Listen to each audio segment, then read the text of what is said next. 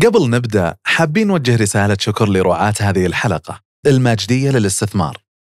التحول والتطور الكبير اللي تشهدها المملكة صنعت فرص واعدة للاستثمار ورواد أعمال مليئين بالطموح والابتكار. وشركائنا رعاة هذه الحلقة الماجدية للاستثمار تعودوا على اقتناص هذه الفرص وتمكين رواد الأعمال والشركات للنمو والنجاح والمساهمة في صناعة مستقبل اقتصاده مزدهر. يلا حياهم يا هلا. الله يحييك. نورتوا. بداية الله جديدة الموسم جديد. آه، وإن شاء الله مستبشرين خير وتكون حلقات جميلة. آه، بنكون سعداء جدا جدا بأبو بلقيس. بارك الله فيك. آه، فايز ذياب آه، بيكون ضيفنا أو ثالثنا دائما في في هذه الحلقات هو صديقنا الجميل حسني مالك. أحسنت. وإن شاء الله أنها تكون يكون موسم جميل بمعيتهم. شكرا لرعاة البرنامج. شكرا لقهوة بيكلو اللي الحين نقدر نطلع الأكواب وإحنا مرتاحين. إيه. الموسم الماضي كنا ندس الأكواب الحمد لله.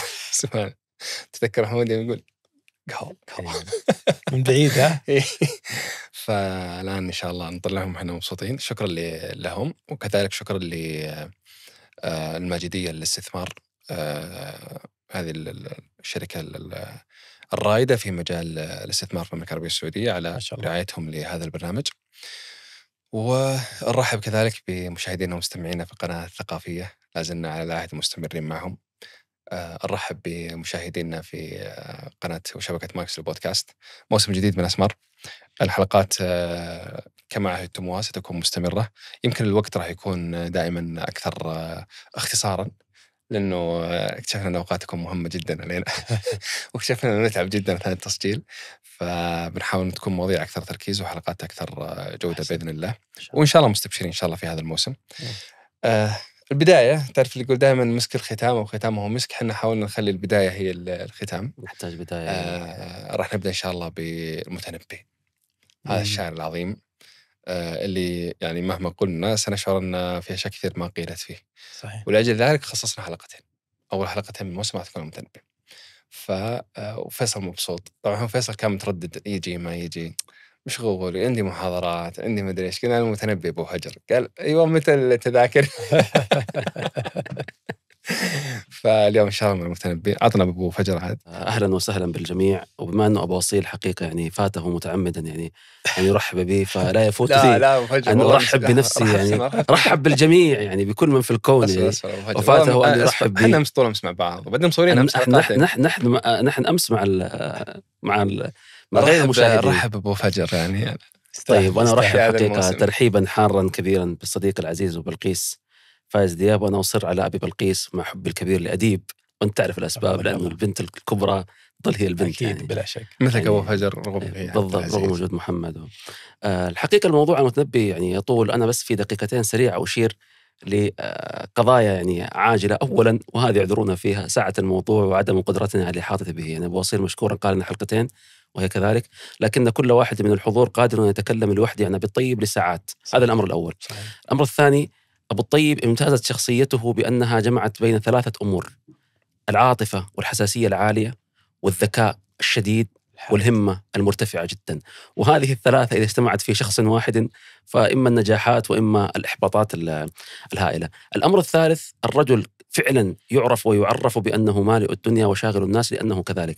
يعني حتى آه، آه، آه، حين قال في في بيته ال- المشهور ويسهر الخلق جراها ويختصموا.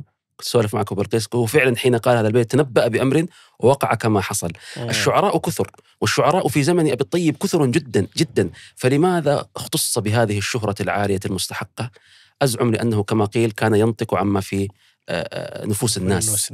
كان يعرب عما يختلج في في في نفوسهم من عواطف وأفكار. وحتى الحكمة في شعره أتت مقبولة في في السياق. أحدهم قال مرة وبذلك أختم حتى لا أطيل آه، قال إذا أردت أن تعرف قدر عقل الرجل ومكانة عقله وحسن تفكيره فانظر إلى موضع أبي الطيب منه. يا سلام. فإن كان يجله ويقدره قدره ويعرف له مكانه فإن شاء الله أنه رجل يعني آه، صاحب عقل وصاحب اتزان. وليس المقصود لا لا فعلا فعلا. ليس المقصود الأفضلية هنا. وحتى كنت سولفت معك أبو بالقيس مم. النقطة. الدخول في منازعة أبو تنبي أبو تنبي أفضل الشعراء قاطب أم لا هذه تجر إلى سجالات. والسجالات تجعل الإنسان أحيانا يخفض الرفيع حتى وإن كان عالم بأنه رفيع. بالضبط. لكن الخروج من هذه السجالات وتأمل شعر أبي الطيب على وجهه مع آلة يعني جيدة بوقت كاف يجعلك تضع الرجل في مكانة شعرية تليق به. لا يعنيني أن تجعله الأول أو الثاني أو الثالث. المقصود أنه شاعر مجيد وبرع وبرز لأن جيد شعره كثير. وهذا يعني يتميز به عن غيره. جميل وهذه غريبه هذه حاجة غريبة ترى ترى مو بس في ال- في الشعر ترى في كل حياه يعني أي ناجح اللي يبرز في مجال في في الرياضة في في الفن في, في أي مجال. لابد يكون في أشخاص لا يرونه عاديا يرونه ضعيف جدا لا يستحق المكان اللي وصل له. ففكرة إنه لا والله نبغى كل الناس متفقين هذه صعبة صعبة صحيح جدا. صحيح. لكن فعلا من يرى إنه يعني في ناس يقول لك إنه إنه شاعر عادي أو ضعيف أو إنه أغلب شعره سرقات أو شيء إنه يترجم من الفلاسفة أو غيره أو غيره. يعني هم يجحفونه أبو الطيب يجحفونه اجحافا كبيرا. لأن ديوانه ضخم جدا واللي فيه شيء مهول. صحيح. ال ال اولا أبدأ بترحيب بالجميع وشكرا حبيبي. على الاستضافة الكريمة واذن الله يكون حضورنا خفيف ولطيف على ال- ال- المشاهدين وعلى المتابعين للبرنامج البرنامج الذي يعني له وزنه الذي لا ينكره أحد. وأكيد بحضوركم أنتم وبيكمل قدمتم خلال الموسم. الماضي بإذن الله يكون موسم جميل. الحديث عن بالطيب آه، الجزئية اللي ذكرتموها وهي جزئية مهمة وهي جزئية الشخصية المثيرة للجدل. المبدع هو عادة المثير للجدل وال- والمقصد بإثارة الجدل أن الناس ي- ينقسمون آه، حوله إلى فسطاطين بين من يراه في بمنزلة عالية جدا وقد يحمله أكثر مما يحتمل وبين من يضع من هذا القدر ويخفض من شأنه إلى درجة أنها تلغي جميع تلك المنجزات وتلك الإبداعات. وه- وهذا شأن المبدعين يعني سواء كنا نتكلم عن أبي- طيب المتنبي آه، أبو العلاء المعري مثلا وغيرهم من آه، أنا كأمثلة. وحتى في المجالات الأخرى. آه، و- و- وإثارة الجدل حول المتنبي ليست بدعة مني. أنا لا أقول ذلك أنا لا أقول هذا الكلام. أنا لا أقول أنا أبا الطيب مثير الجدل من نفسي بل أبا بل أبو الطيب نفسه يقول ذلك. يقول يسهر الخلق جراها ويختصموا والاختصام دليل على أن ال- ال- الخصومة مرتبة عالية من الاختلاف. ليست مرتبة دنيئه يعني أو متوسطة أو منخفضة من الاختلاف له مستويات. الاختصام هو من أعلى مستوياتها. وبالتالي إذا كان هناك اختصاما حول معنى فمعنى ذلك أن أن الناس فيه قد انقسموا إلى قسمين. نا- ناس يرونه عظيما وناس يرونه وضيعا أو حقيرا. وهذا شأن المبدعين. وبالتالي لو تأملت أي مبدع في هذه الحياة وهو واصل إلى مرحلة عليا ستجد أن الآن الناس فيه في هذا بهذا الشأن وبهذه الكيفية. وهو ترى حس بالشيء ذا يعني حتى في حياته مثلا لما تشوف وش سمى ولده؟ محسد. حسد. مم. فهو يشعر بذلك يعني يحس إنه محسود الرجال. ما أدري يعني. ترى عندنا إحنا في ال- في ال- في الحياة يعني أي واحد ينجح ولو لو طاح ولا صارت له إصابة ولا قال والله عين. عرفت المتنبي الحمد لله يعني ما قاعد إلى آخر آه. حياته ما جاه شيء يعني إيه. مع إنه كان مسمي ولده محسن قتل. لكن بس اذبح لسانه ويستاهل بالضبط المفارقة. الغريبة يعني الدلع المفارقة الغريبة في مو- موضوع الاسم ابو بلقيس القطاوي أنا وياك لازم نكون متابعين أي كلمة نقولها إي رجل ذات موضوع شخصي هذه يعني. تصيد- تصيد. يعني تصيده الضرغام فيما تصيد. اللي يستاهل يتصيد ال- ال- ال- ال- الغريب في ان ان ان المتنبي آه، أبو محسد وأبو الطيب. وهو ارتضى الطيب ولو أنه كان رافض- رافضه في بداية حياته كان هو لا يريد الاسم هذا من سمى أبو الطيب؟ أبو الطيب هو هو تحدث آه، في بداياته كان يتكلم انه طبعا كان يذم أهل الكوفة وهو من مواليد أهل الكوفة أنه يقول أهل الكوفة اسمائهم متكررة متشابهة مم. هو أحمد بن الحسين ويبدو أن الاسم الأسماء هذه متكررة حسن حسين أحمد محمد ويدورون في- فيما بينهم فبالتالي يكنون أو يأتون بكنى حتى يفرقون بين الأسماء المتشابهة فكني بابي الطيب. لاسباب أنا والله لا أعرفها. ولو أني لم أبحث في هذا الأمر. وبالتالي هو ما كان يعني يحب كلمة أبي الطيب في البداية. يعني اول اول المتنبي أصلا. حتى كلمة المتنبي اللقب هذا اللقب المتنبي. لكن المقصد إنه لما نقول إنه سمى ابنه المح- المحسد لم يصدر نفسه بعد ذلك على أنه أبو المحسد المتنبي مثلا. وهذا خلاص وهذا مشت أبو أي الطيب نعم أي نعم. آه، حياة أبو فجر ودي أعرف كذا يعني. هو فقط الولاده والوفاه عشان الناس تقعد تتصور 303 ولد. 303 في الكوفة في محل يق... في محله يقال لها الجعفة. وهو صحيح النسب جعفي وكذلك يعني جدته من بني همدان. وفكرة أن الرجل لم يكن صحيح النسب وأنه في في عربيته يعني عروبته طبعا ينفيه تنفيه أمور كثيرة أولها افتخاره العزي العظيم بنفسه يعني. وإني من قوم كأن نفوسهم بها انف من أن تسكن اللحم والعظم. صحيح. آه، وبنفسي فخرت لا بجدودي وبهم فخر كل من نطق الضاد وعوذ الجاني وغوث الطريد. فالرجل صحيح النسب وهذا الاعتداد العظيم بالنفس غالبا يعني لا لا يكون وراءه يعني ضعف النسب. توفي 354 فهو لم يعمر يعني 51 سنة تقريبا. 51 سنة تقريبا. آه، المنطقة تنقل فيها من مصر إلى العراق خرج من العراق إلى الشام تنقل في الشام فترة طويلة عاد للعراق ثم عاد للشام ثم خرج لمصر ثم عاد عودة أخيرة للعراق ثم ذهب إلى منطقة إيران يعني شيراز وما حولها فارس. بلاد فارس ومنها عاد يعني فهي منطقة ليست صغيرة لكن ليست واسعة جد ليست واسعة آه، جدا يعني موضوع التعليم صراحة متنبي يعني كان في زمن المعارف فيه كانت متعددة الفلسفة علم الكلام اللي كانوا يسمونه علوم صحيح. الأوائل صحيح. اللغات وكان عالما متبحرا في اللغة ولم يقدم نفسه على في هذه الصورة قدم نفسه بأنه شاعر ووظف المكنة اللغوية في في شعره. آه، كنا قلنا في حلقة أبي تمام شيئا وأنا أكرره الآن. الحكمة والمعارف هذان الأمران ظهورهما في شعر أبي الطيب أجمل. لم يفق لم يفقدا شعر أبي الطيب مائيته وعذوبته وانسيابه في الغالب. صحيح في بدايات شعره كان يحاول إبراز المعارف والفلسفات بطريقة أخلت نوعا ما بمائية الشعر وعذوبته، لكنه مع تقدم العمر ونضج التجربة زالت هذه الأشكالية. والحكمه عند المتنبي ترى إيش ميزتها؟ إنها ذاتية تماما مم. يعني هو ما يقولها و... يعني ما تكون بعيدة عن يعني فكرة فقط ويعيشها أنا اعتقد أو يقولها. أعتقد إنه ما يقول حكمة اللي هو عايشها. يعني أحيانا بعض الأبيات ال- من شدة صدقها تجد يعني الحكمة المفترض أنها تفتقد العاطفة الحراره. المتنبي تجد فيها حكمة وفلسفة ومع ذلك فيها عاطفة جياشة. يعني مثلا في قصيدته اللامية نجيب أنت اللي نعم. قال يقول إنعم ولذة. مم. فللأمور اواخر ابدا إذا كانت لهن أوائل. صحيح. جمح الزمان فما لذيذ خالص مما يشوب ولا سرور كامل. كل سرور. تشعر أنه فعلا هو يعني هذه الحكمة صحيح. يعني لي لي ما خرجت مخرج فلسفة فقط هو عايشه يعني. يقول صحيح. نعم ولد فللأمور اواخر ابدا إذا كان. آه، وش ما كان المصيبة اللي فيها؟ ترى لها نهاية. بالضبط. السلام أبو. لا هو مثل ما تفضلتما يعني في في الحديث عن عن أبي الطيب في الصفات في- الشخصية كيف كان؟ في آه، هو مثل ما ذكر أبو فجر في البداية هو شخص طموح وهو وهو آه، طموحه كان عاليا جدا. وفيه هذا هذه ال- الروح المتوقدة والثابه لل- للمعالي. هو يريد يعني أريد من زمن ذا أن يبلغني ما ليس يبلغه من نفسه الزمن. هذا المعنى وإن كان عظيما في الشعر إلا أنه في الواقع حياته بالطيب المتنبي أراه ماثلا في تصرفاته في لقاءاته مع ال- ال- الحكام والملوك والأمراء حتى في ال- ال- ال- ال- الوقائع البسيطة التي تحدث في تضاعيف ديوان المتنبي نجد هذه هذه الروح حاضرة. حتى لما كان يتكلم في بعض القصائد البسيطة عن الشطرنج عن ألعاب بسيطة كذا نجد هذا الملمح قد ما يكون واضح بشكل كبير ولكنه موجود. وهذا هذا بلا شك طبيعة طبيعة شخصيته. وأبو الطيب شعره في الصبا وشعره في الكهولة. وإن كان هناك يبدو أن هناك خط زمني واضح في في المعاني نوعا ما إلا أن إلا أن حديثه عن الحكمة وعن الروح الم- ال- ال- المتوقدة لا لم يخبو. صحيح.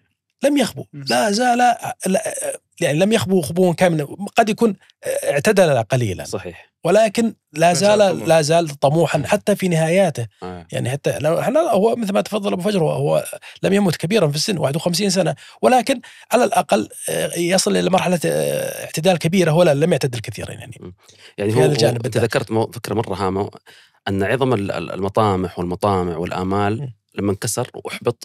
لم تغب عنه هذه النفس الوثابة و- وهذا الكبرياء العجيب. يعني حتى في قصيدة تأتي عليها لاحقا النونيه في مرحلة إحباط شديد في مصر يسمعهم يتكلمون عنه وينعونه في مجلس في الدولة بما التعلل لا أهل ولا وطن ولا نديم ولا كأس ولا سكن إيش سكن. البيت اللي بعده؟ كفى بجزء أري- أريد, أريد من زمني ذا أن يبلغني ما ليس يبلغه من نفسه الزمن. ف يعني إحنا ممكن نأخذ نماذج من شعر الصبا. هذه فكرة الفخر والإعتداد ظاهرة فيها بصورة أصرح. لكن آه، لم تغب في في شعره اللاحق ابدا. يعني يقول آه، ليس التعلل بالآمال من أربي ولا القناعة بالإقلال من شيمي. ولا أظن بنات الدهر تتركني حتى تسد عليها طرقها هممي. لم الليالي التي أخنت على جدتي برقة الحال واعذرني ولا تلمي. ويقول ردي حياض الردى يا نفس واتركي حياض خوف الردى للشاء والنعم إن لم أذرك على الأرماح سائلة فلا دعيت ابن أم المجد.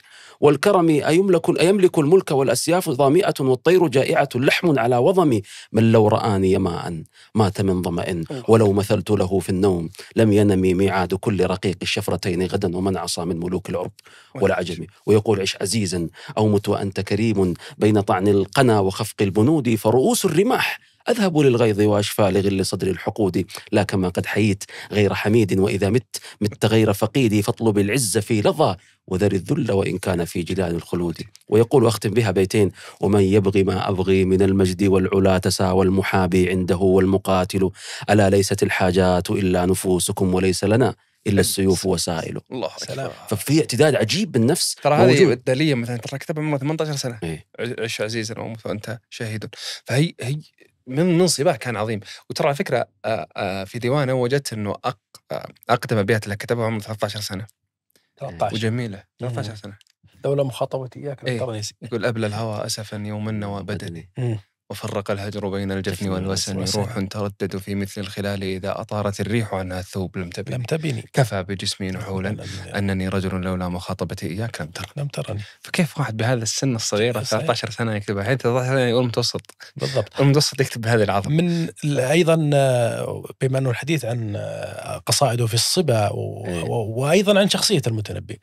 ما لا يعرفه يبدو لي كثير من متتبعي المتنبي أو من جمهور المتنبي محبي المتنبي وهو شاعر عظيم أنه لغوي بارع وهذه لفتة يعرفها الباحثين في شعر المتنبي المتنبي طبعا لأنه من أهل الكوفة وتعرفون في النحو هناك مدرستان يعني بصرة. والمدرسة النحوية.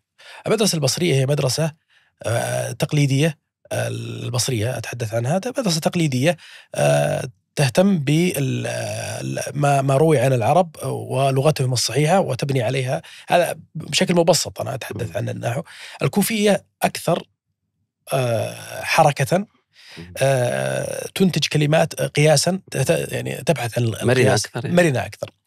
فأبو الطيب آه، بما أنه من الكوفة فهو يعني ينزع هذا المنزع يعني المنزع الكوفي في النحو. وبالتالي تجد في آه، قصائد كلمات قد يكون المتنبي أول من قال هذه الكلمة. في العربية. وهو قالها قياسا على كلمات أخرى عربية موجودة ولا تستطيع تخطئته. وبالتالي آه، يبدو لي أنه أكثر الذين يسهرون جراء ويختصمون هم النحويين يعني. مم. يعني هو النحويون هم الذين يختصمون حول الكلمة. وذكر ابن جدني هذا الأمر يعني أنه في خلاف كثير يحدث بين النحويين على كلمات يذكرها المتنبي. والمتنبي طبعا لا يدخل في هذا الجدل. يلقي الكلمة داخل القصيدة ويذهب يمشي. ينام. فعلا ينام ويسهر. جني يرتب له وابن أموره. جني يرتب الأمور ما يقصر اسمع فيه انت قلت لي على قبل شوي قلت معلومة قبل الحلقة آه. آه لم تصبر يعني أنا كان عندي كنت أي. أقول إن الاصل إنها آه، تسكين فأنت. قلت لي فكرة أول مرة أسمعها أي. نعم في اللي هو بيت اللي بعد هواك صبرت أم لم تصبر أي نعم وهذا ال- الذي يعني متمرس في أو سليقة نحوية دقيقة أو أو سليمة عندما يسمع هذا الشطر صبرت باد هواك صبرت أم لم تصبر يعني يستغرب تصبر لماذا بألف مطلقة؟ فما يعرفه أن فعل مضارع مسبوق بلم الجازمة ولم الجازمة بالسكون وإن حركت حركت كسرا. فكيف تحرك نصبا؟ والمتنبي يتفطن لهذه الجزئيات وهو متعمد. فبحثوا في هذا الأمر يعني وسهر. النحويون يبحثون في هذا الأمر وذهب للنوم. هو آه، وطبعا هي هي هي هي مبدوله عن نون التوكيد. المقصد لم تصبرن. ونون التوكيد هذه مذكورة في آه، شعر العربي القديم وفي التراث العربي القديم أنها تستبدل بعض الأحيان إذا استبدل بدلت بألف النصب الألف الألف ال- ال- ال- اللي هي عوض عن النصب وبالتالي جاء بها في هذا البيت أو بهذا الشطر بهذا المعنى وأراد وأراد هذا الأمر. جميل في قصيدة له بس خلينا في هذه قبل نعم. تجيب القصيده دي سم. حقت بعدين هواك بعد هواك هو هو كتبها في آه، ابن العميد صحيح. طبعا في فلسفة عجيبة يعني. جميلة يعني شوف هو هو يعطي الناس على على أقداره ابن أيوة. العميد كاتب كبير. ومفكر واصلا فيلسوف. هو يعني يعني متكلم. أصلا أسلوبه هو اسلوبه الجاحظ يعني نعم ترسل الجاحظ والجاحظ الثاني يسمونه إيه. فتشعر إنه فعلا في يعني في في الفلس- الفلسفة عنده أكثر فتلقى تلقى القصيدة دي مليانة برموز فلسفية وفيها لعب مم. وفيها ومطلعها مطلعها يا أخي وصف رحلة مع- عجيبة عجيبة. أنا ترى كل ما أمطرت الحمد لله إحنا في الصيف. والله العظيم إني البيت هذا حسبي الله على ابو الطيب يقتل علي جمال المطر بكل ما تذكرت المطلع هذا. لأنه جعل الدموع والسماء التي تمطر كأنها دموع على فراق الاحبه. وكان يقول لو استطعت اوقفت هذه السماء أن تمطر. كان يقول باد هواك. صبرت ام لم تصبرا وبكاك ان لم يجري دمعك أو جرى كم غر صبرك وابتسامك صاحبا لما رآه. وفي الحشا ما لا يرى. أمر الفؤاد لسانه وجفونه فكتمنه. وكفى بجسمك مخبرا. تعيس المهاري غير مهري. غدا بمصور لبس الحرير مسورا. نافست فيها صورة في ستره. لو كنتها لخفيت حتى يظهر. لا تترب الأيدي المقيمة فوقه. كسرى مقام الحاجبين وقيصر فتن يقيان ماذا؟ يقيان في أحد الهوادج مقلة رحلت كان لها فؤادي محجرة. ولو استطعت إذا اغتدت روادهم لمنعت كل سحابة أن تمطر. فإذا السحاب أخو غراب فراقهم جعل الصياح ببينهم أن يقطر. وإذا الحمائل ما يخدن بنفنف إلا شققن عليه ثوبا أخضر. يحملن مثل الروض إلا أنها أسبى مهاتا للقلوب وجؤذرا فبلحظها نكرت قناتي راحتي ضعفا وأنكر خاتمي الخنصر. أعطى الزمان فما قبلت عطاءه وأراد لي فأردت أن أتخير. يا سلام. يا أخي عجيب لو فيها المدح سلام منبئ الأعراب نعم. أني بعدهم. جلست رسطاليس والإسكندر اسكندر ورأيت بطليموس جامع كتبه متبدية مدري متحضرة. ثناء على ابن العميد. شوف كيف أثنى على ابن العميد. يعرف. ابن العميد يعني رجل صاحب نعم. هذه يقول لي بعدها بعد هؤلاء تراجع يعني ممن مدحهم وهو, وهو, وهو يقدر لهم قدرهم يعني بعيدا عن السياسة مم. مكانة الشخص صحيح. وإن كان نكبوا بعدين في ودانا ألح عليه. أنه روح لعضد الدولة نجي في الافتراضات آه، ماذا لو هذا افتراض دائما ماذا لو وتبدأ تتخيل فأنا أتساءل عادة بيني وبين نفسي طبعاً. ماذا لو كان المتنبي قبل الجاحظ وكان الجاحظ بعد المتنبي وأدرك ال- الجاحظ تراث المتنبي ليس المت... ليس ليس عصر المتنبي تراث المتنبي. أنا أعت... لأن... لأنه أنا أكاد أجزم انه إنه المعري قام بجهد ولكن المعري كونه شاعرا قد يكون في مرحلة بعد ذلك أعاد النظر في فيما فيما كتب عن المتنبي وبالتالي شرح ديوان المتنبي المنسوب أصلا لأبي العلاء وليس يقينا أنه لأبي العلاء. معجز أحمد؟ معجز أحمد نعم. هو عجيب. يعني لغته لا أغلب الظن أن المعري لم يكتبه. عجيب. أغلب الظن يعني. لا لا يوجد هناك قطعية في هذه المسألة. ولكن لو كان الجاحظ هذا سؤال مهم لأن الجاحظ آه، متفرد وذواقة آه، مذهل في في في تأمل الأبيات وتأمل اللغة والغوص في المعاني وكشف المعاني ال- آه، يعني المضمرة داخل هذه ال- ال- الأبيات المعلنة. فماذا لو هذا سؤال.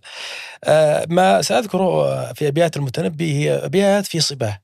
وسنرى هذه الروح سنرى هذه المعاني سنرى هذه اللغة أيضا موجودة وحاضرة وهذه الحكمة ال- السابقة. آه، طبعا القصيدة هي طويلة أنا ساذكر هنا فقط آه، ثمانية أبيات اللي فيها الجزئيات المهمة. يقول أحاد أم سداس في أحادي ليلتنا المنوطة بالتنادي. يتحدث عن ليلة في أسبوع هل هذه كانت ليلة أو ست, ست ليالي في مم. ليلة مجموعه في ليلة واحدة فأصبحت اسبوعا.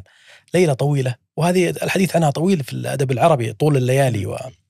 فيقول أحاد أم سداس في احادي ليلتنا المنوطة بالتنادي متعلقة بيوم القيامة بيوم التنادي. طويلة هذه لن تنتهي إلى يوم القيامة. كأن بنات نعش في دجاها خرائد سافرات في حدادي. أفكر في صباه يقول هذا المعنى. يقول أفكر في معاقرة المنايا. أفكر في معاقرة المنايا وقود الخيل مشرفة الهوادي. زعيما للقنا الخطي عزمي بسفك دم الحواضر والبوادي. إلى كم ذا التخلف والتواني؟ إلى كم ذا التخلف والتواني؟ وكم هذا التمادي في التمادي؟ وشغل النفس عن طلب المعالي بكسب الشعر في سوق الكساد.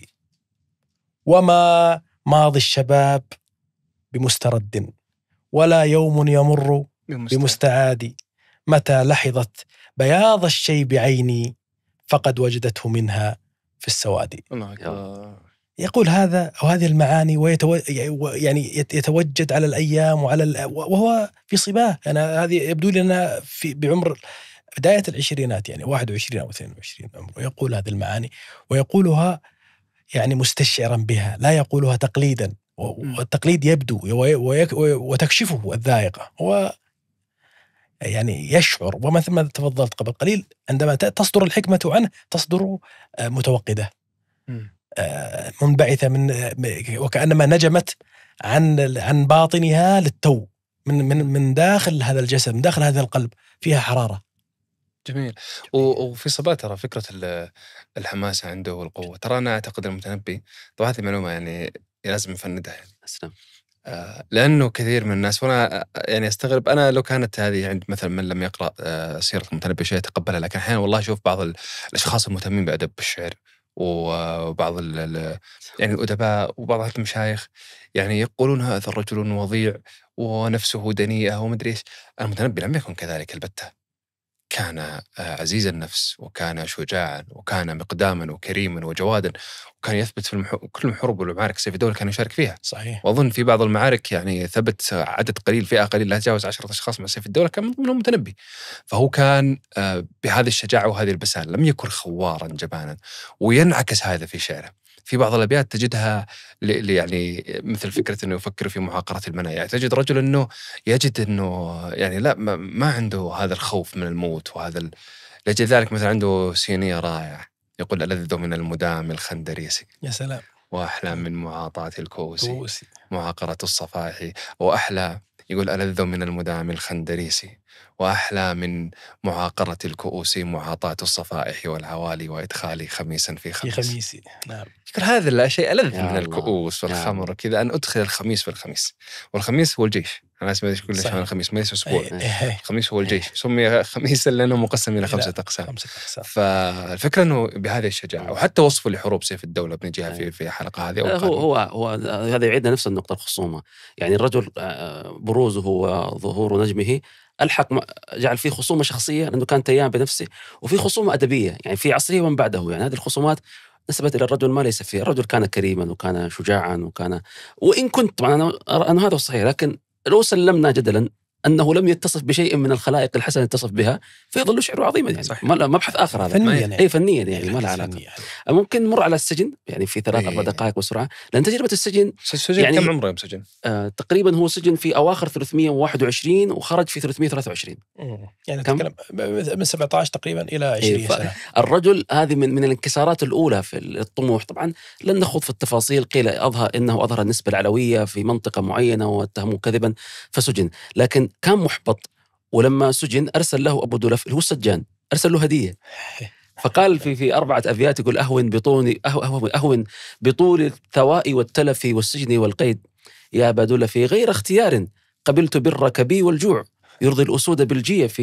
كن أيها السجن كيف شئت فقد وطنت للموت نفس معترف. يا سلام. لو كان سكناي فيك منقصة لم يكن الدر ساكن الصدف. صورة مألوفة معروفة. في موضوع نعم، السجن. نعم نعم الكبرياء لم يأخذ منه لكن لما طال عليه الأمد بدأ يستعطف ويستلطف و- إيه. ويرسل الرسائل. فارسل يقول بيدي شوف تغير اللغة هنا. بيدي أيها الأمير الأريب لا, لا لشيء إلا, إلا لأني غريب. الله. أو لأم لها إذا ذكرتني دم قلب بدمع عين سكوب. إن أكن قبل أن رأيتك أخطأت فإني على يديك أتوب. عائب عابرني لديك ومنه خلقت في ذوي العيوب العيوب. الموضوع ما انتهى. فأرسل قصيدة وقيل أنه بسببها أخرج اللي هي الدالية ويظهر أنه هناك أسباب اجتمعت ساعدت على خروجه ولم تكن هذه القصيدة السبب الأوحد. طبعا القصيدة الفائية الأولى يقال أنه كان يؤمل يعني دخول آه، سيف الدولة إلى الشام المنطقة اللي هو قريب منها وأنه إذا علم بسجنه سيخرجه لكن تأخر وأبطأ عليه سيف الدولة لاعتبارات سياسية وعسكرية. مم. فقال. القصيدة هذه الأخيرة اللي فيها رجاء وفيها عتب يقول أمالك رقي ومن شأنه هبات اللجين وعتق العبيد. يا سلام. دعوتك عند انقطاع الرجاء والموت مني كحبل الوريد.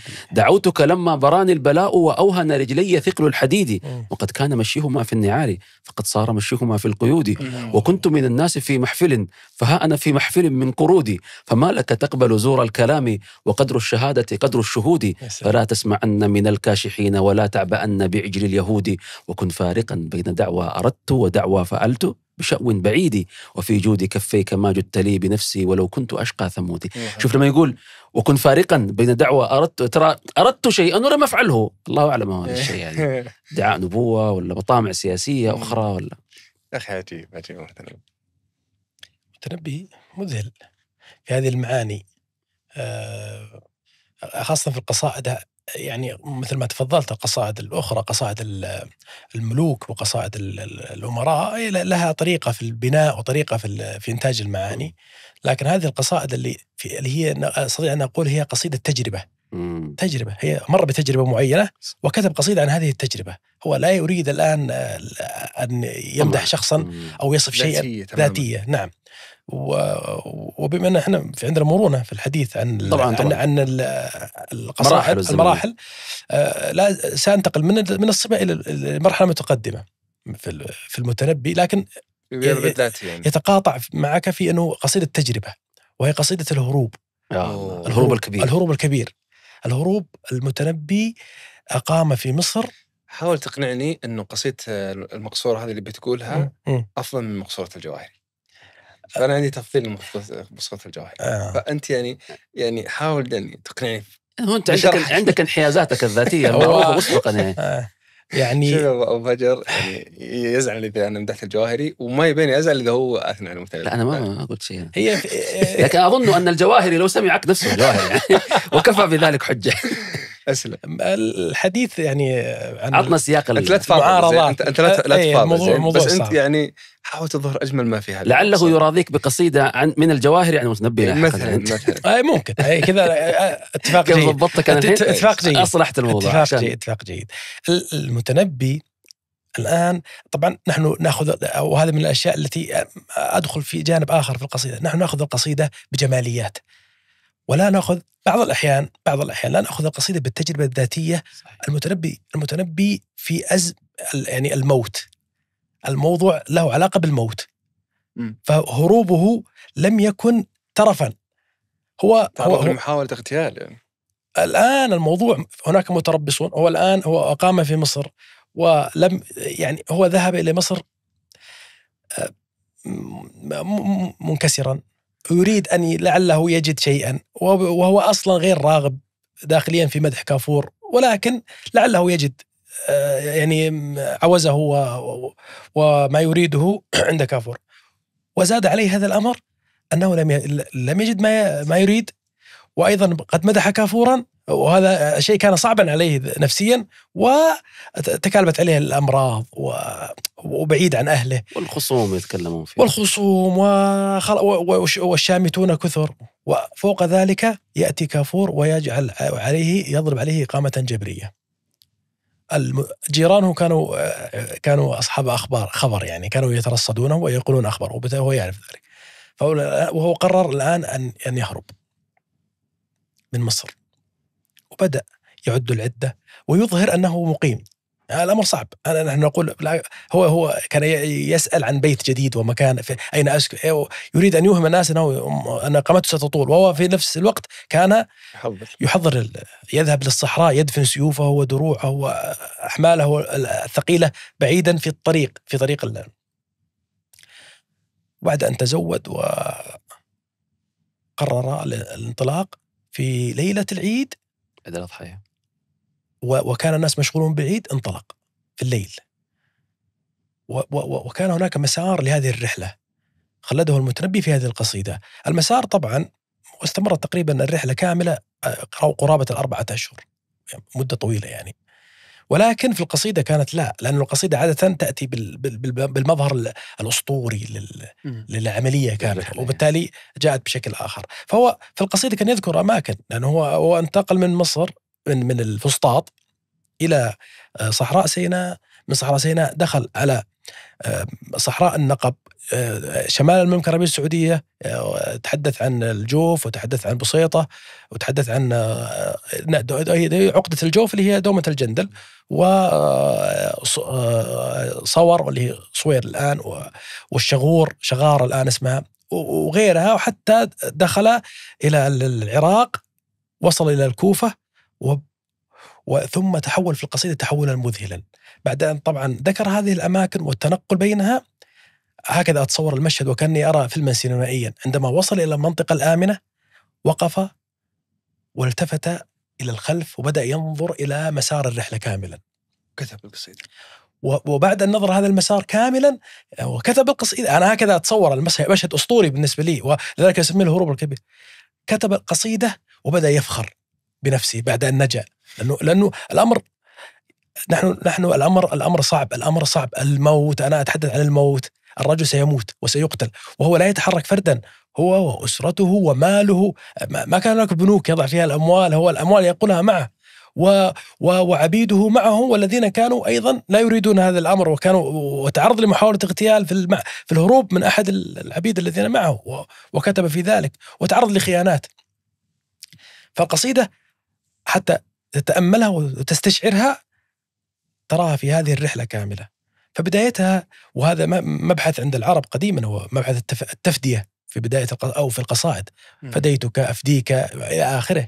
و ذكرني فيها بالشاعر ال- الجاهلي الحارث ال- الجرمي. آه، لما كان في معركة الكلاب وخلاص هو الموضوع يحتاج له الهروب لأنه هناك موت في المعركة. بدأ القتل يكثر ويضعف قومه وحصانه بدأ يجهد. ويطارد من قبل ال- ال- ال- الخصوم ويريدون قتله فماذا فعل؟ قفز من الحصان وبدأ يركض على قدميه ونجا. فكتب قصيدة يتفدى رجليه بأمه وخالته. إيش قال بالله؟ قال فدا لكما رجلي أمي وخالتي. يفدي رجليه بأمه وخالته. يعني ال- ال- الأعز يقول فدا لكما رجلي أمي وخالتي.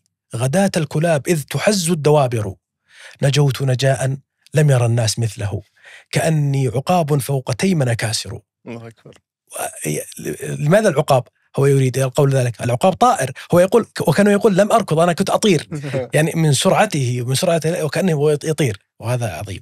فالتفدي أو التفدية في الشعر مبحث. هو من المباحث التي آه، آه، يحتاج لها نظر. فال- فالمتنبي في هذه القصيدة يبدأ بهذا المعنى. بهذا المعنى. يقول يقول ألا كل ماشية الخيزلة كل أنثى تمشي مشي ال- ال- الغنج ومشي الدلع ومشي ال- الرقة فدا كل ماشية الهيذبة. ك- كل امرأة ت- تذهب فداء. كل امرأة تمشي مشيا مدلا تذهب فداء لهذه الناقة الجسو- الجسورة القوية. لأنه هو في اللحظة هذه لا يريد مشيا جميلا ومشيا ناعما يريد من يمشي مشيا سريعا وثابا فهو يفدي هذه النوق التي أن- أنجته من كافور بمشي النساء ال- الجميل.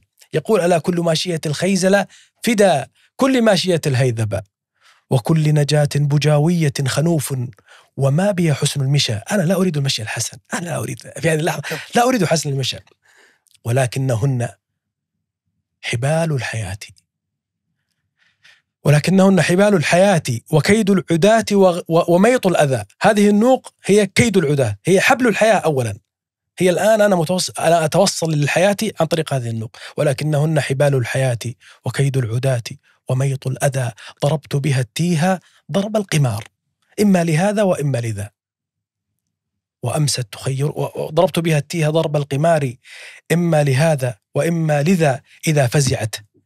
إذا فزعت قدمتها الجياد وبيض السيوف وسمر القنا فمرت بنخل وفي ركبها عن العالمين وعنه غنى وأمست تخيرنا بالنقاب وادي المياه ووادي القرى. فقلنا لها أين أرض العراق؟ فقالت ونحن بتربانا.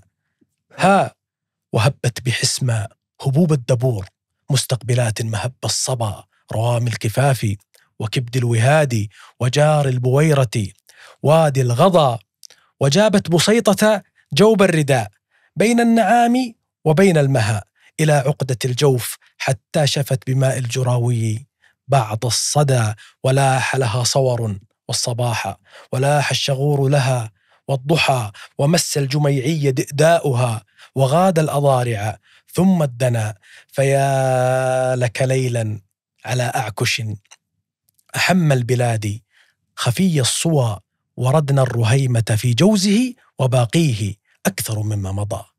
فلما أنخنا ركزنا الرماح فوق مكارمنا والعلا.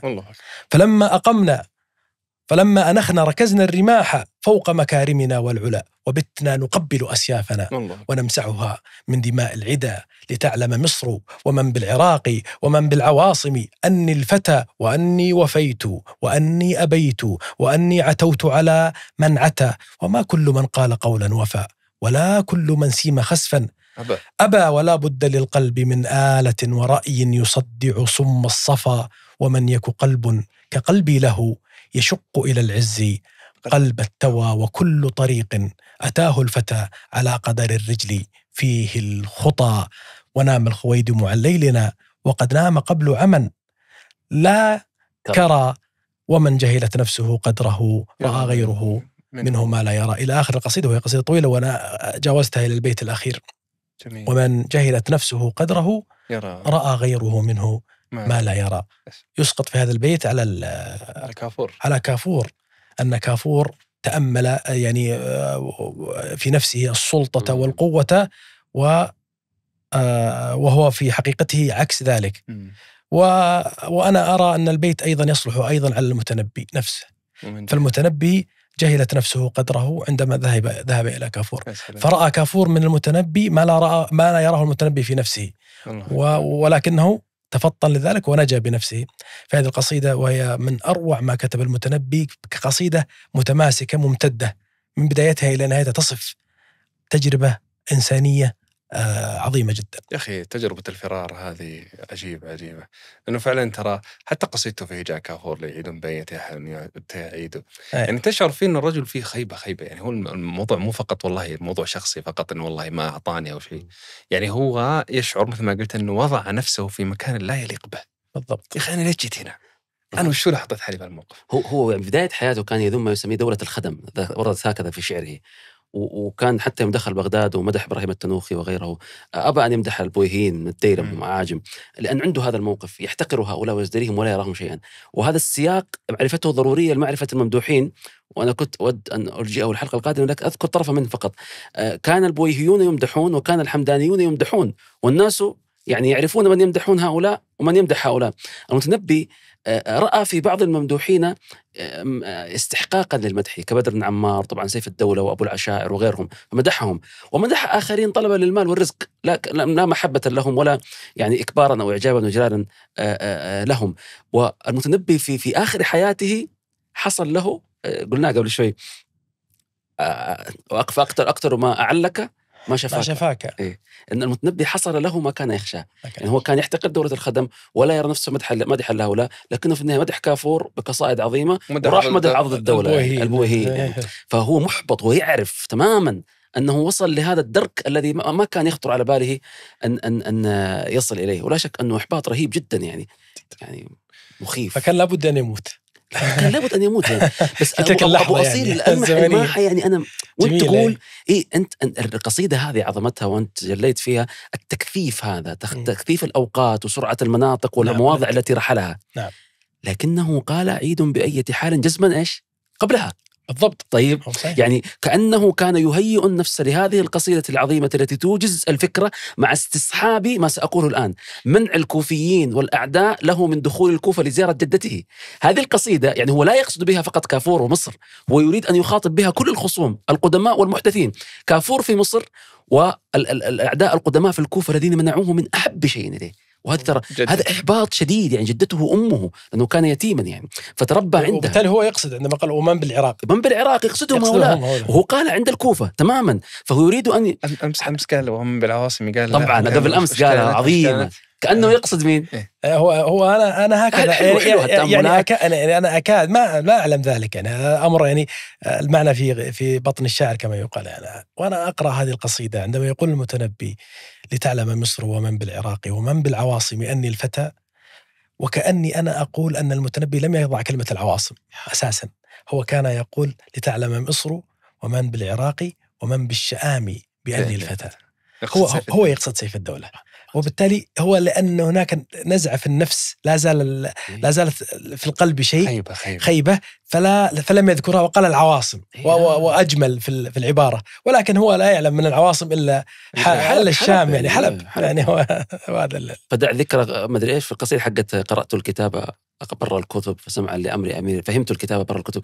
يعني موضوع علاقة سيف الدولة طويل لكن في 335 استجفته جدته وشكته بعده وطلبت منه أن أن أن يزورها. فتوجه العراق منعه خصومه من دخول إليها آه، آه، كتابا يسألها المسير إليه.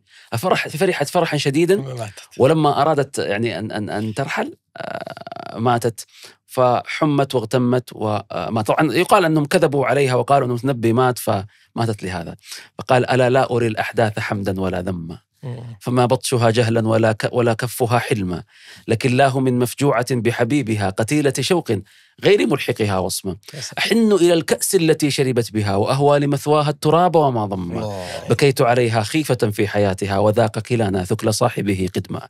ولو قتل الهجر المحبين كلهم مضى بلد باق أجدت له صرما. عرفت الليالي قبل ما صنعت بنا فلما دهتني. لم تزدني بها علما. أتاها كتابي بعد يأس وترحة فماتت سرورا بي. فمت بها غما. حرام على قلب السرور فإنني أعد الذي ماتت به بعدها سما. طلبت لها حظا ففاتت وفاتني. وقد رضيت بي لو رضيت بها قسما. كانت ترضى جواري وقربي لكن المطامح والرغبات إيه، جعلته يبعد. صحيح.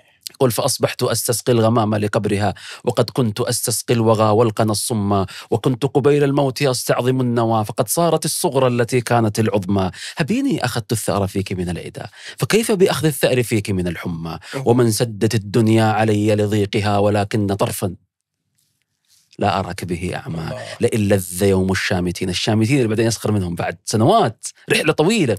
لئن لذ يوم الشامتين بيومها فما ولدت مني لأنفهم رغما. تغرب لا مستعظما غير نفسه ولا قابلا إلا لخالقه حكما. ولا سالكا إلا فؤاد عجاجة ولا واجدا إلا لمكرمة طعما. يقولون لي ما أنت في كل بلدة؟ وما تبتغي ما أبتغي. جل. أن يسمى. وإني. لمن قوم كأن نفوسهم بها أنف. أن تسكن اللحم والعظم كذان يا دنيا إذا شئت فاذهبي ويا نفس زيدي في كرائها قدما فلا عبرت بي ساعة لا تعزني ولا صحبتني موجة. تقبل الظلم. الله الله الله الله الله الله. شوف هذه القصائد الذاتية. أنا أعتقد المتنبي هنا مو مو في مدائحه وحتى في مدائحه أفرق بين المتنبي في مدحه مثلا ال- سيف الدولة ولا. إي وابن عمار ولا سيف ولا عض الدولة ولا كفورها شوف شوف الع- العظمة سلام، يا والعزة. سلام. ترى يتجلى يعني حتى نظرة النفس عظيمة جدا في هذه القصيدة. آه حتى في رثاء دائما دخلنا باب الرثاء. ترى في بعض في مراثي المتنبي كان يتكلف وفي مراثي كان المتنبي صادق فيها صحيح. مثل آه أوه مرثيته اللي- المشرفية ل- إيه لأم سيف الدولة يا الله. ذي اللامية هذه يا أخي. اسلم لما, لما كاملة ماتت أم سيف الدولة قال يعزي بها قال نعد المشرفية والعوالي وتقتلنا المنون بلا قتال ونرتبط السوابق مقربات وما ينجينا من خبب الليالي. وهانا فما أبالي بالرزايا لأني ما انتفعت بأن أبالي. الله. رماني الدهر بالأرزاق. حتى فؤادي في غشاء من نبالي. فصرت إذا أصابتني سهام تكسرت النصال على النصال مم. بعدين يمدح يرثيها يقول ولو كان النساء كمن كمن فقدنا لفضلت النساء على الرجال فما التأنيث لاسم الشمس عيب ولا التذكير فخر للهلال. بعدين فيها بيت شوف فلسفة المتنبي يقول يكفن بعضنا بعضا مم. ويمشي أواخرنا على هام الأوالي. يا سلام. هذا آه، معلي. إيه. أخذ المعالي لما قال فخفف الو- خفف الوطى ما أظن أديم الأرض إلا من هذه الأجساد. يا سلام. أظنه يعني سطع على معنى لا- تمام. وإن كان مع مع الريق قد يكون أجمل. لطفها لكن. نكفن بعضنا بعضا وتمشي أواخرنا على هام الأوالي. على هذا ف... فالمتنبي المتنبي في في رثائه هذا عظيم. لكن وحتى في عزائه هنا في نفس القصيدة. شو يقول؟ يقول أشيف الدولة تستنجد بصبر. وأين لمثل صبر الجبال يعني آه، وأنت تعلم الناس التعزي وقيد وقود الحرب في الحرب السجاري زي كذا يعني في القصيدة عظيمة عظيمة جدا يعني. لا مرثيته في في أم سيف كانت عظيمة. وانظر إلى عكسها مثلا في بعض المرات اللي كان يتكلف فيها مثلا. أو خلينا نجيب قصيدة أخرى مثلا قصيدة صادقة في الرثاء حقت آه، أبو شجاع فاتك آه. أوه الحزن يقلق. التجمل يرضى. والتجمل يردع والدمع بينهما عصي ضيق طيعوا يتنازعان دموع عين مسهد هذا يجيء بها وهذا يرجع. النوم بعد أبي شجاع نافر والليل معين والكواكب ضلع.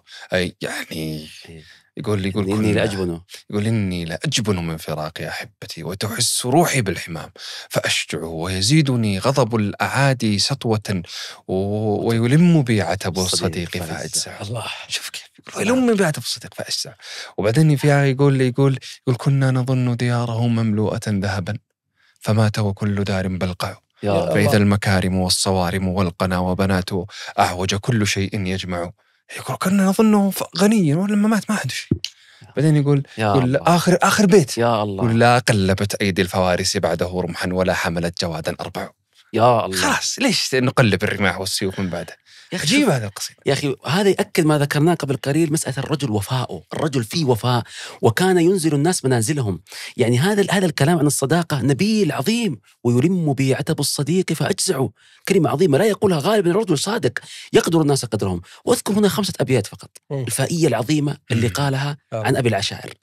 لما بعد قصيده آه. وحرق البنات على وحرق لاحقا، لكن شوف الوفاء هو لا يستوي عنده الم... هذا رجل أراد أن يقتله أبو أرسل. غلمانه لما خرج من عند سيف الدولة بعد قصة وحرق الب... حرق الب... وحرق الب... مباشرة أو بعد فاصل فرموه بالنبل فنجا منهم بعجوبه فلما أوشك أن ينجو قالوا قالوا له تعرف من نحن من؟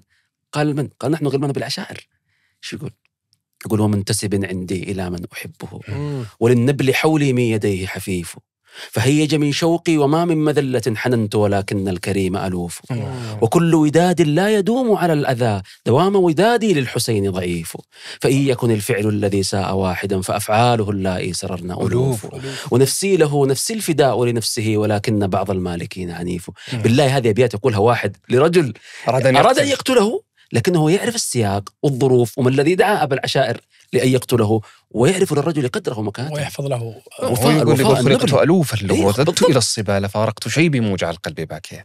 فهو بهذا بهذا الشكل العجيب هذا ال- ال- الحرارة في رثائي آه، في في المراثي اللي ذكرناها قبل قليل.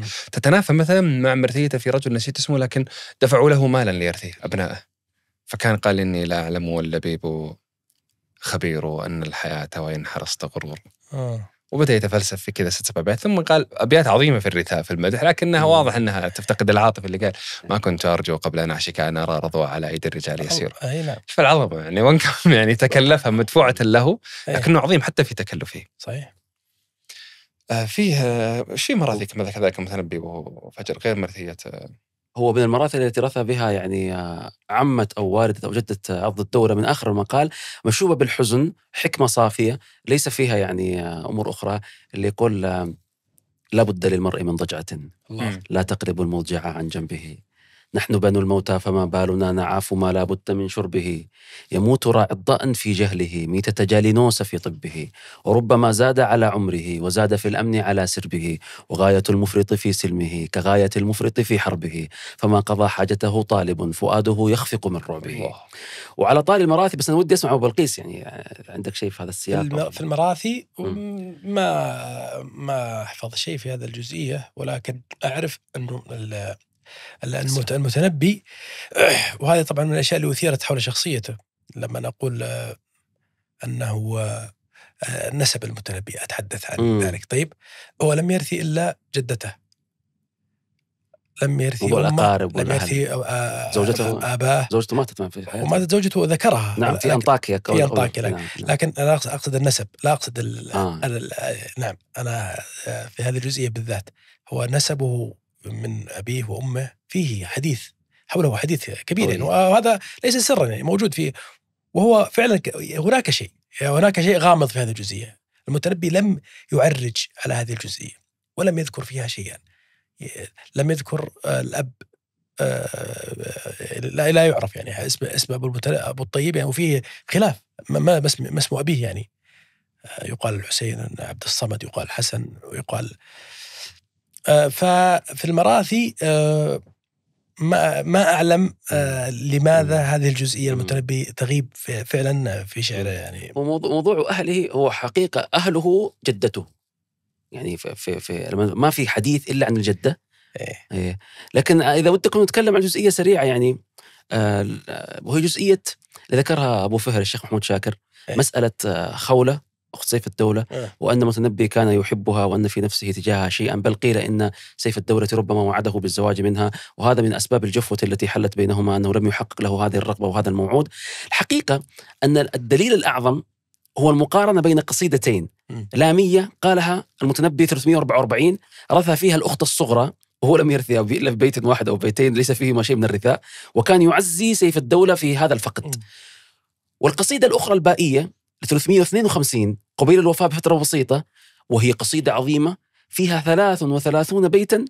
يعني 33 بيتا في في خولة في الثناء عليها. وإطرائها. بل والتغزل بها أها اي نعم نعم يعني ال- ال- ال- الفارق بين القصيدتين كبير البون شاسع والفارق واسع وهذا يستدعي احتمال وجود شيء لكن هل يصل هذا الاحتمال لما ذكره أبو فير الحقيقة هناك شيء الله أعلم به لأنه في هذه القصيدة اللامية التي رثى فيها الأخت الصغرى يعني لم يأتي على شيء مما قاله في القصيدة ال- ال- الأخرى بالله يتأمل. يقول إن يكن صبر ذي الرزية فضلا تكن الأفضل الأعز الأجل. أنت يا فوق أن تعزى عن الأحباب. فوق الذي يعزيك قبل وبألفاظك اهتدى. فإذا عزاك قال الذي له قلت قبل. قد بلوت الخطوب مرا وحلوا وسلكت الأيام حزنا وسهلا وقتلت الزمان علما. فما يغرب قولا ولا يجدد فعلا. اجد الحزن فيك حفظا وعقلا وأراه في الخلق ذعرا. وجهلا لك إلف يجره. وإذا ما كرم الأصل كان للإلف أصلا. ووفاء نبت فيه ولكن لم يزل للوفاء أهلك أهلا. إن خير الدموع عونا لدمع بعثته رعاية فاستهلا أين ذي الرقة التي لك في الحرب؟ إذا استكره الحديد وصلى. أين خلفتها؟ غداة لقيت الروم والهام بالصوارم تفلى. قاسمتك المن الآن يقول الفكرة هذه. عندك أختين. المنون استعجلت وخات إيش الصغرى. فتصبر لأن التي بقيت هي ليش؟ هي الأعظم والأجل. ثم يعود ويذكر نفس الفكرة في البائية التي عليها. يقول قاسمتك المنون شخصين جورا جعل القسم نفسه فيك عدلا فإذا قست ما أخذنا بما أغدرنا سر عن الفؤاد وسلى وتيقنت أن حظك أوفى وتبينت أن جدك أعلى ولعمري لقد شغلت المنايا بالأعادي فكيف يطلبن شغلا شوف بعدها ماذا يقول عن هذه المسكينة الغلبانة اللي اللي ماتت؟ يقول خطبة للحمام ليس خطبة شوف اللعين؟ خطبة. خطبة للحمام ليس لها رد وإن كانت المسمات ثكلى. وإذا لم تجد من الناس كفوا ذات خدر أرادت الموت بعلا. يغلب على ظني أن المتنبي قال هذه القصيدة وهو عنده آمال وطموحات وكان مبسوط كان سعيد. شوف يقول بعدها؟ ولذيذ الحياة أنفس في النفس. قاعد يعزيه الآن ويذكر إيش؟ لذيذ الحياة. يقول ولذيذ الحياة يقول انبسط يعني. ولذيذ الحياة أنفس في النفس وأشهى من أن يمل وأحلى. وإذا الشيخ قال أف فما مل الحياة. وإنما الضعف مل آلة العيش صحة. وشباب فإذا ولي عن المرء ولا. ولا. أبدا تسترد ما تهب الدنيا. فيا ليت جودها كان بخلا تمر السنين نوصل 352 يحصل الفقد بعد الغربة وما خرج من عند كافور. فيقول البائية العظيمة في هذه في, في هذا الرثاء ويعزيه تعزية حقيقية ويثني عليها.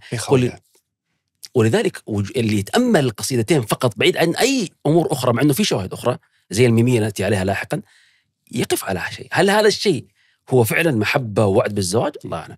يا أخت خير اخ يا بنت خير أبي كناية بهما عن اشرف النسب. أجل قدرك أن تسمي مؤبنة ومن يصفك فقد سماك للعرب. لا يملك الطرب المحزون منطقه ودمعه وهما في قبضة الطرب. غدرت يا موت. كم أفنيت من عدد بمن أصبت وكم أسكت من لجب. وكم صحبت أخاها في منازلة. وكم سألت فلم يبخل ولم تخب. ذكر الموت هناك في القتال. وأعاد هنا لكن هنا مشوب بالحزن. غدرت يا موت. كم أفنيت من عدد بمن أصبت وكم أسكت من لجبي وكم صحبت أخاها في منازلة وكم سألت فلم يبخل ولم تخبي طوى الجزيرة. الجزيرة الفراتية. طوى الجزيرة حتى جاءني خبر فزعت فيه بآمالي إلى الكذب. حتى إذا لم يدع. لي صدقه أملا شرقت بالدمع حتى كاد يشرق بي. تعثرت به في الأفواه ألسنها والبرد في الطرق والأقلام في الكتب. كأن فعلة. لم تملأ مواكبها ديار بكر ولم تخلع ولم ملتهب ولم ترد حياة بعد تولية ولم تغث داعيا بالويل والحرب يرى العراق طويل الليل مذ نعيت يا الله. فكيف ليل فتى الفتيان؟ في حلبي. يظن أن فؤادي. لا أشركنك؟ إيش قالوا فراس؟ لا أشركنك في الله. وإن طرقت كما شركتك في النعماء والرغد. هذه المشاركة في المواساة. دائما يقول ليس في الدولة. المتنبي من ناحية وفراس من ناحية. نحن معك في الحزن. يظن أن فؤادي غير ملتهب وأن دمع جفوني غير منسكب. بلا وحرمة من يعني يقسم بها يقسم بحرمتها. بلا وحرمة من كانت مراعية لحرمة المجد والقصاد والأدب. ومن مضت غير موروث خلائقها وإن مضت يدها موروثة النشب وهمها في العلا والمجد. ناشئة وهم أترابها في اللهو واللعب يعلمن حين تحيا حسن مبسمها وليس يعلم إلا الله. بالشنب. الشي بالريق الشنب بالريق فليت طالعة الشمسين غائبة وليس غا وليت غائبة الشمسين. لم تغبي وليت عين التي آب النهار بها فداء عين التي آب زالت ولم تأبي فما تقلد بالياقوت مشبهها ولا تقلد بالهندية القضب ولا ذكرت جميلا من صنائعها إلا بكيت ولا ود بلا سبب. قد كان كل حجاب دون رؤيتها فما قنعت لها يا رض بالحجب ولا رأيت عيون الإنس تدركها فهل حسدت عليها عين الشهب. وهل سمعت سلاما لي لم بها فقد أطلت وما سلمت من كثبه. يا أحسن الصبر زر أولى القلوب بها وقل لصاحبه يا أنفع السحب وأكرم الناس. لا مستثنيا أحدا من الكرام. سوى آبائك النجب قد. كان قاسمك الشخصين دهرهما وعاش درهما المفدي بالذهب وعاد في طلب المتروك تاركه. إنا لنغفل والأيام في طلبي وهذا المقطع اللي بعده يبكيني لأنه خلاص قال له أنا يعني هناك أخذ ال- ال- الصغرى على أمل أن الكبرى. تبقى الآن حتى الكبرى زالت التعزية انتهت. يوصيه وكأنه يبكي لصديقه وحبيب سيف الدولة. يقول فلا تنلك الليالي إن أيديها إذا ضربن كسرنا النبع بالغرب ولا يعدن عدوا. أنت قاهره أنت قاهره فإنهن يصدن الصقر بالخرب وإن سررن بمحبوب. فجعن به وقد أتينك في الحالين بالعجب وربما احتسب الإنسان غايتها وفاجأته بأمر غير محتسب وما قضى أحد منها لبانته ولا انتهى عرب إلا إلى أرب تخالف الناس حتى لا اتفاق لهم إلا على شجب. والخلف في الشجب فقيل تخلص روح المرء سالمة وقيل تشرك جسم المرء في العضب ومن تفكر في الدنيا ومهجته أقامه الفكر بين العجز والتعب يا سلام. فالنظر بين القصيدتين تفاوت كبير يدل على أن ثمة شيء حتى وإن كانت صداقة ومودة يعني آه، عادية لمكان قد تكون لتلك المرأة خوله فعلا في المجتمع والكرم والأدب والمعارف مكانة مغايرة للصغرى اللي مسكينه كان يقول لها يعني أما الزوج أما القبر يعني. إي نعم. يا أخي عجيب عجيب. وقالها في, في, في العراق هو. ما ما كان ما ذهب في, في, في العراق. هو في العراق بعد العاد الجزيرة؟ طول الجزيره الجزيرة الفراتية. نعم الجزيرة الفراتية. طوى الجزيرة حتى جاءني خبر فزعت فيه بآمالي إلى الكذب. مم. حتى إذا لم يدع لي صدقه أملا شرقت بالدمع حتى كاد يشرق يا سلام. هذه ترى أصبحت يعني حتى في بعض الخصوم يعني مثلا يذكر أن الصاحب بن عباد كان يعني بينه وبين المتنبي المتنبي كان لا يمدحه. فكان يرفض أن يأتي أحد ويذكر لها أي أبيات للمتنبي.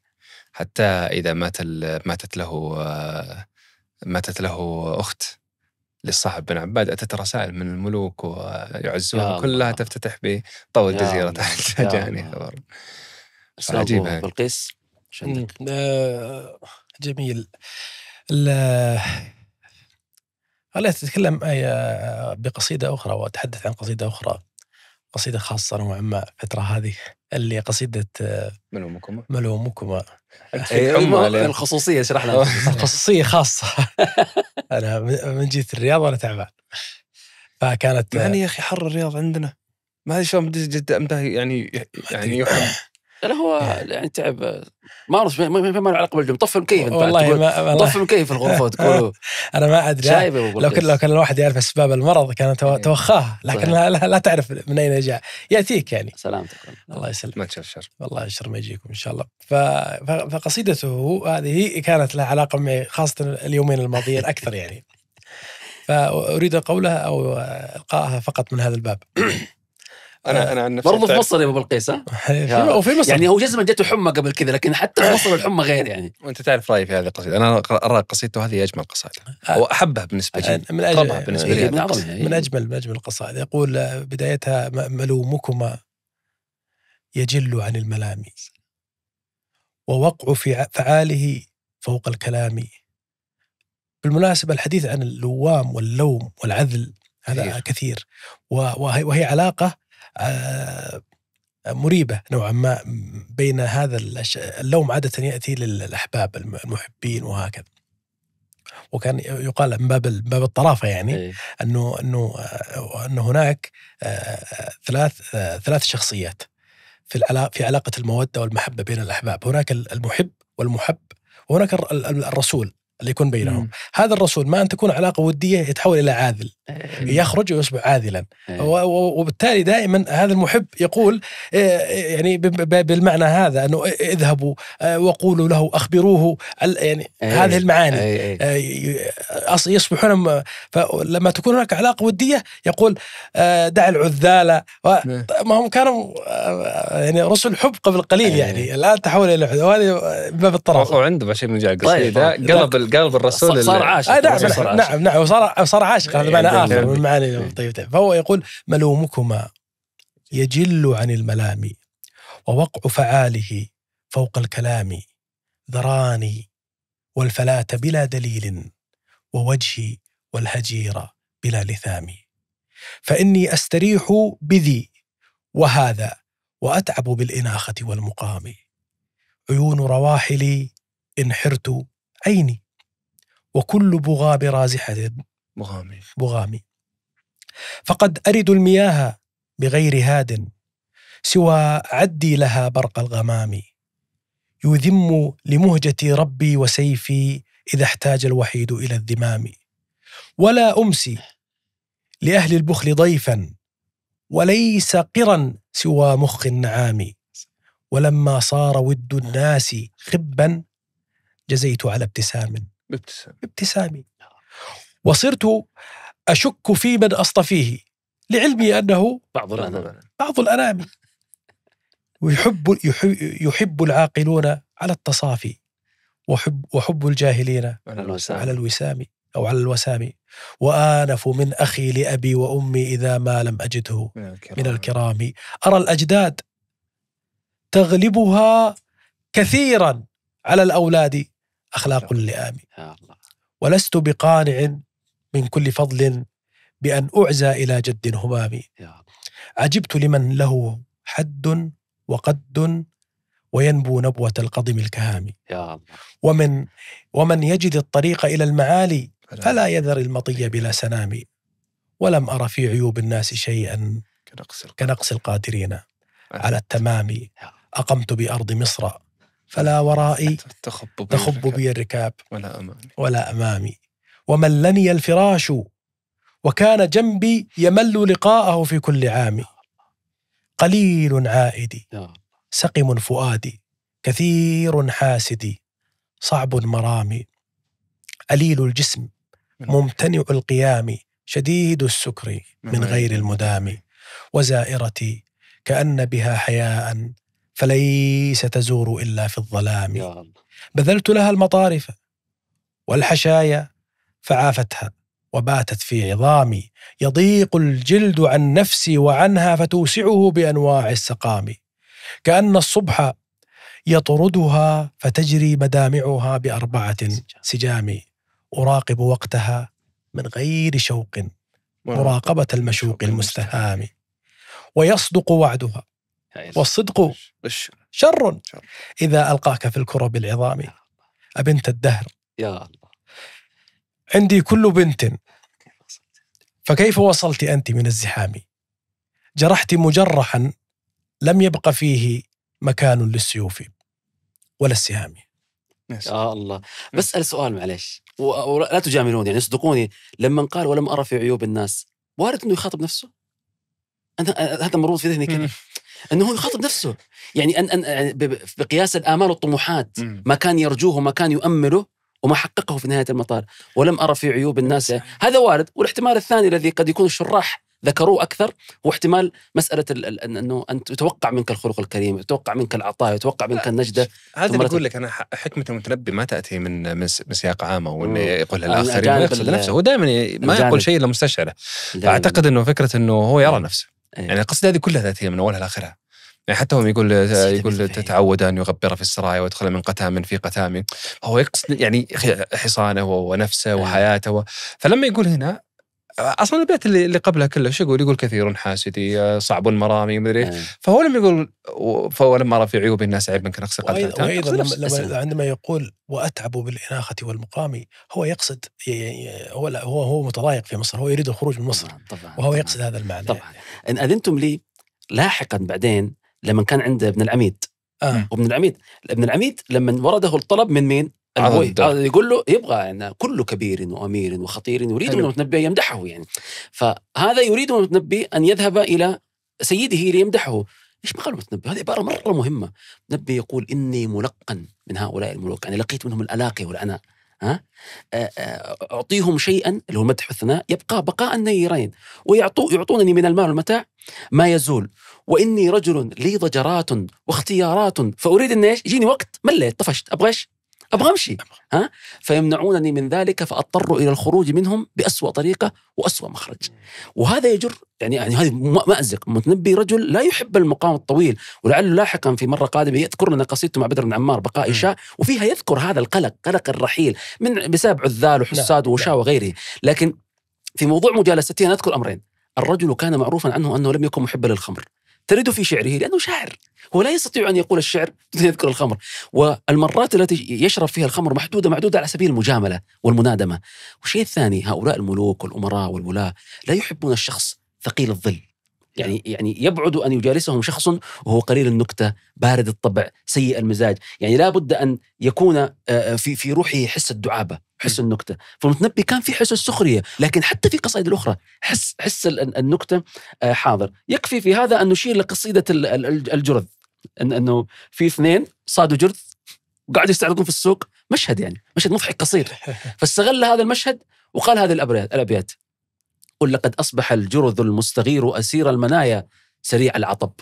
رماه الكناني والعامري وتلاه للوجه فعل العرب.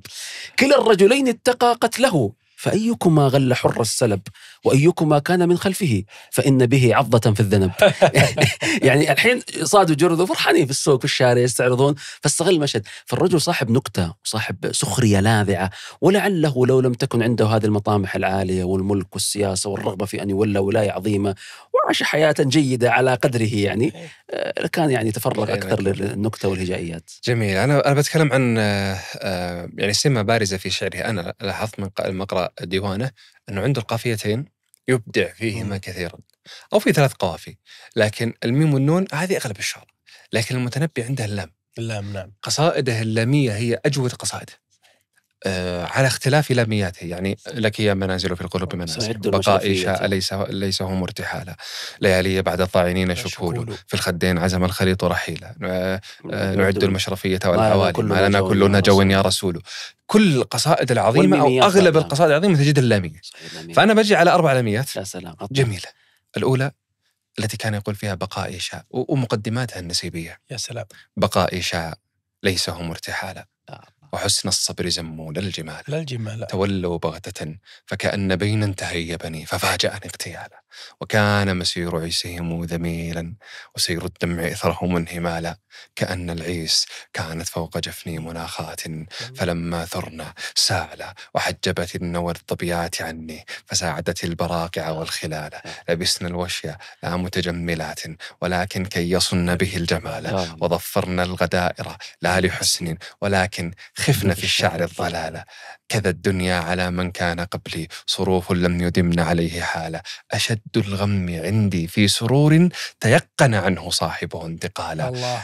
ألفت ترحلي وجعلت أرضي قتودي والغريري الج- الجلالا فما أزمعت في أرض مقائف يقول فما آه أزمعت في أرض مقاما. مقاما ولا أزمعت عن أرض زوالا على قلق كأن الريح كأن الريح تحتي توجهني أو أوجهها جنوب. جنوبا أو شمالا الله عظيمة القصيدة هذه لامية طبعاً واللامية هي اللي قال فيها هذه القصيدة التي كان يؤذن ويعلم فيها بدر بن عمار إنه إيش؟ راحل إيش كان يقول فيها؟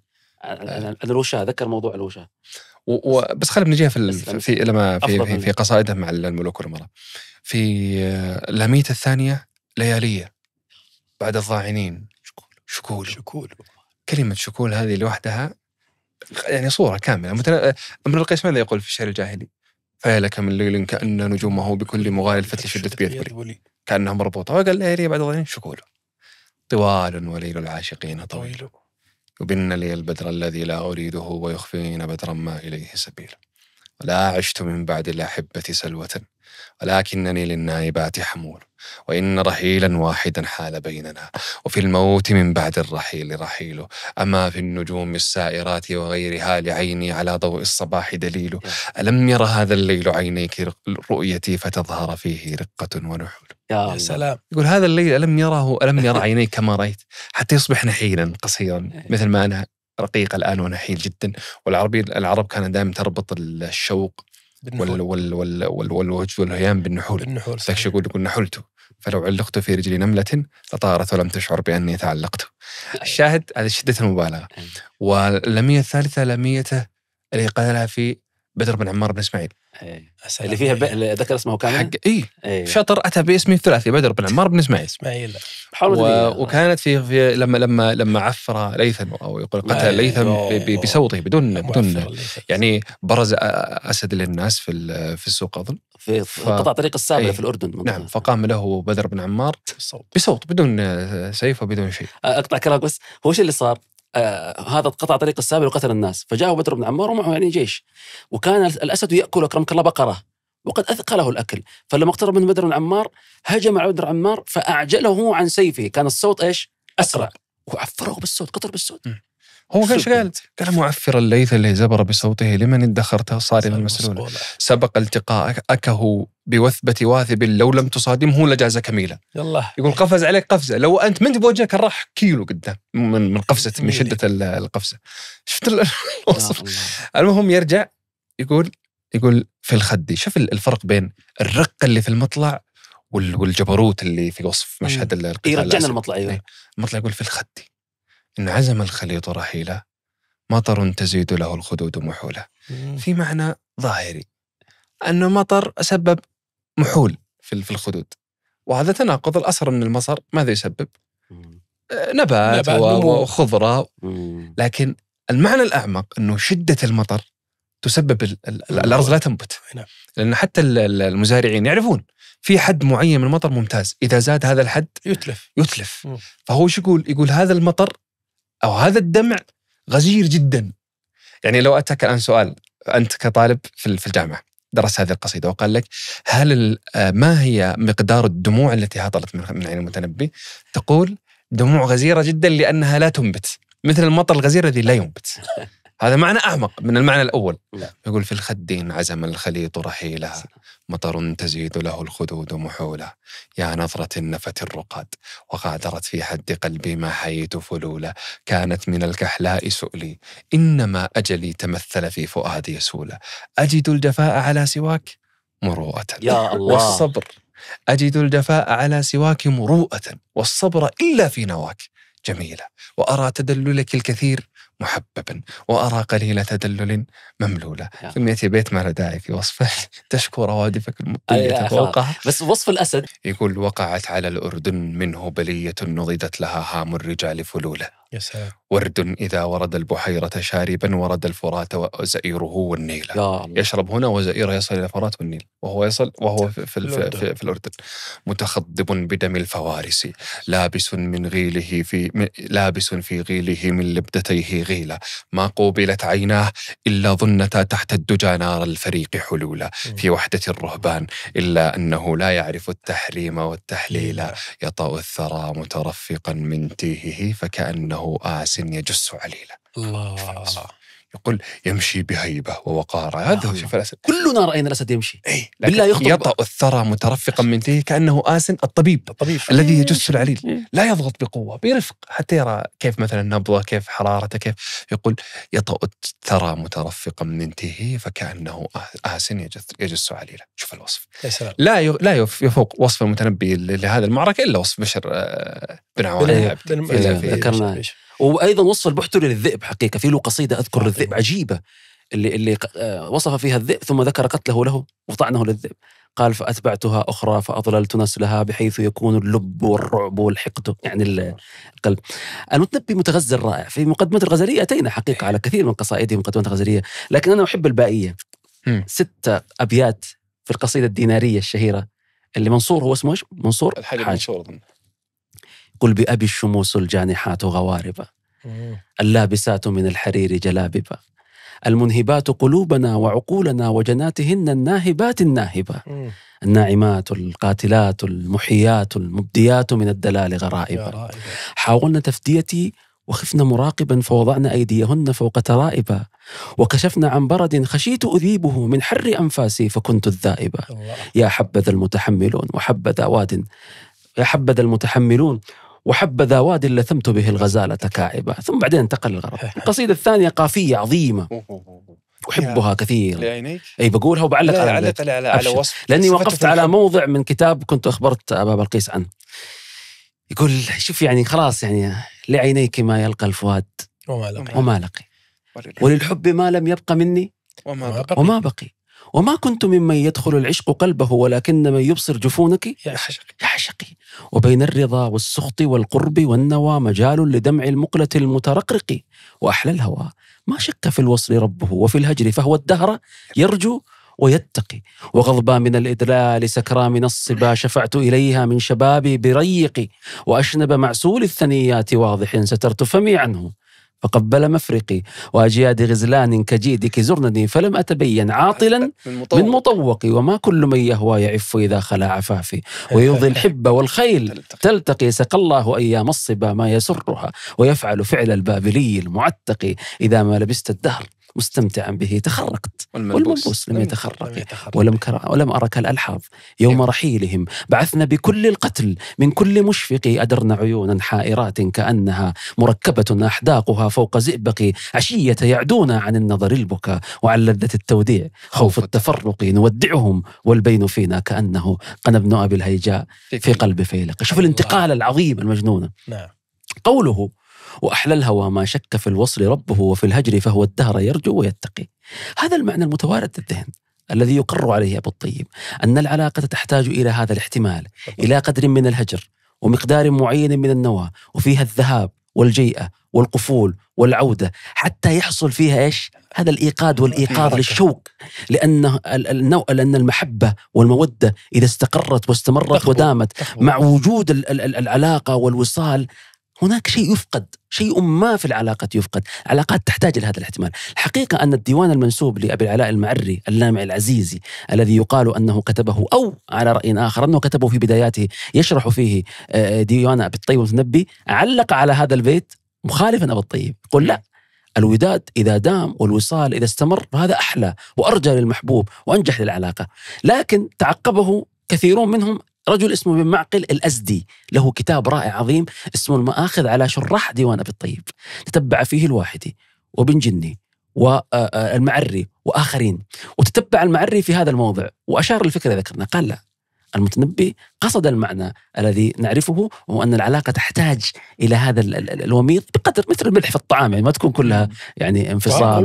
ويبدو لي هذا من الم... هذا ال- ال- الحديث اللي ذكره المعري اللي إيه. هذه من الدلائل أنه ليس المعري يا سلام لأنه, لأنه لا يخطئ مثل هذا المعري لا يخطئ مثل هذا الخطا مثل- البسيط جميل، ويفهم جميل. ويفهم أبعاد الحديث يعني أنا بختم قصيدة. آه وإن كان والله في بس نأجلها للحلقة الثانية لكن على فكرة الصلة الهجر والتناقض بينهما. مم. له قصيدة في صبا جميلة. كان يقول صلة الهجر لي وهجر الوصال. نكساني في السقم نكس الهلال.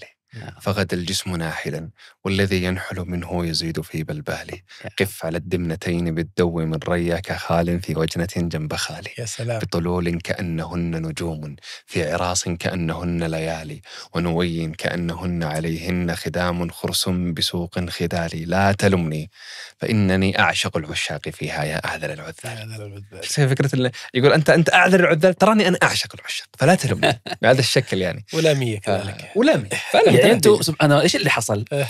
أمس راجع مع أبو أصيل في السيارة فقال لاميات المتنبي مختلفة. اليوم قاعدين نتقهوى انت الصباح إيه. ودون أن تسمع كلام أبي أصيل إيش قلت؟ نفس الحديث أجمل ما عنده لامياته وفعلا لعل نأتي على اللاميه ذيك العظيمة التي هي من لأسباب غزلية وسياسية تتعلق بموقفه من سيف الدولة. هذيك هذيك مختلفة جدا. إيه الحلقة القادمة راح تكون عن آه، المتنبي في في حضرة الملوك سيف الدولة وكافور و... ونأتي على حتى الأمور الأخرى التي لم نأتي عليها. صحيح، صحيح. نشوف الوقت كيف. الله يعطيكم العافية. شكرا الله يعافيك. حبيبنا. إيش رأيك؟ ها شكرتك. يعني عشان ما تقول نسيتني في البداية يعني جيتك يعطيك العافية أبو. بلقيس شكرا لك. والشكر للمستمعين والمشاهدين الكرام وصلوا هذه الحلقة. شكرا لفريق العمل الرائع أحمد يوسف. آه، الاتحاد ومحمد الجميل. نادي إيه. ولكل فريق التنسيق وإعداد نور الموصلي ورندا بالخيل وفريق النشر آه، محمد السعوي وريهام الشهري وغيرهم. ويعطيكم ألف عافية وكذلك نشكر رعاتنا آه، مقهى بيكالو. آه، اللي مخلينا مروقين اليوم أيوة، ونقول يعطيهم قصائد بحماس وكذلك آه، الماجديه للاستثمار الله يعطيهم العافية. وشكرا لمتابعي آه، القناة الثقافية لوصولهم آه، معنا لنهاية الحلقة. ونشوفكم إن شاء الله في حلقة قادمة. بالله لا تنسون الإعجاب والإشتراك وكتابة التعليقات نشر المقاطع. تفيدنا وتسعدنا والله إذا كان في طلب طلب بسيط يعني في بعض الحسابات مشكورين والله يقومون بجهد كبير في يعني نشر بعض المقاطع من البودكاست وهذا يعني آه، متفضلين عليه لكن لو كان بالإمكان يضاف آه، شعار مايكس وشعار البودكاست أسمار حتى يعرف الناس لأن كثير ناس يسأل هذه المقاطع من أين؟ فإذا أضيفت الشعارات أعتقد الناس يعني سيصلون إلى الحلقات. يعطيكم ألف عافية وشكرا لكم ونشوفكم إن شاء الله في حلقة قريبة.